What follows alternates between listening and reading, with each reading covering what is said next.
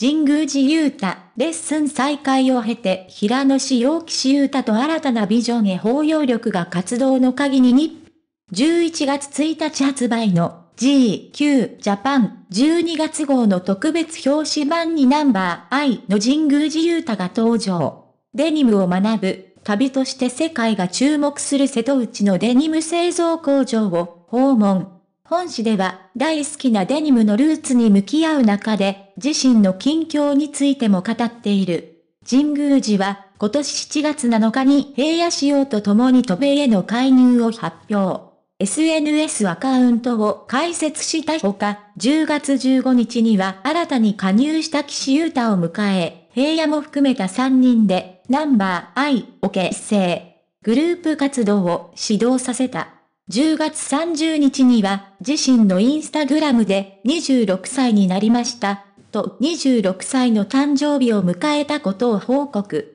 神宮寺勇太生誕祭り2023のハッシュタグについても、触れいつも盛り上げてくれて本当にありがとうとファンにお礼を伝えた上で気持ちを直接伝えられる喜びも綴っていた。同ハッシュタグは X、旧ツイッターの世界トレンドで1位を獲得するなど、自身の誕生日にめでたいことが重なった。そんな10月30日は神宮寺が芸能界入りした日でもある。先輩グループのバックダンサーや2012年にはドラマに初出演し、その後はドラマに映画、舞台、さらにバラエティ番組ではマックを担当するなど、幅広い活動を続けてきた。2012年放送のドラマ、スプラウト、日本テレビ系で演じた片桐公役では、サッカー好きのあどけない少年役を演じた。そこから10年の月日を経て、2022年4月期放送の受付の上、日本テレビ系ではドラマ単独初主演を飾った。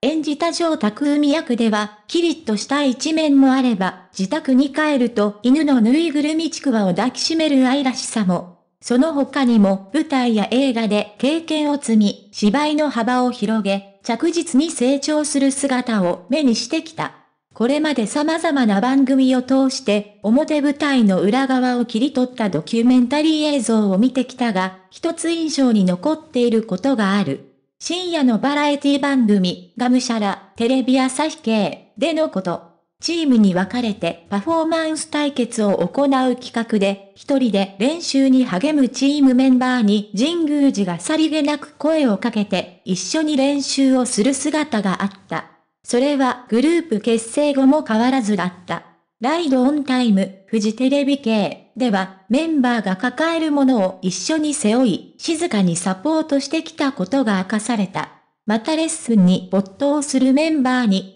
彼がセコンドからタオルを投げるようにして休憩を促す姿も。今夏からレッスンを再開、言葉の端々から感じた新たな神宮寺勇太のビジョン。神宮寺はかねてからライブ演出を担当するなど、ステージを作る裏方としての仕事も担ってきた。表に出ながらも、多くの人には見えない色々な場面や周囲の人々を支えていた。周囲のみならず全体を見る冷静さと観察目、包容力を合わせ持つ。長らく国民的彼氏として親しまれてきた神宮寺らしい懐の深さが伺える。今回表紙を飾った GQ ジャパンではデニムのバックポケットの縫い付けを体験した。一連の工程を終えて神宮寺が語ったのは、人の手、職人への一歩踏み込んだリスペクトと、これまた神宮寺ならではの視点だった。そして、今夏からレッスンを再開したことも語っ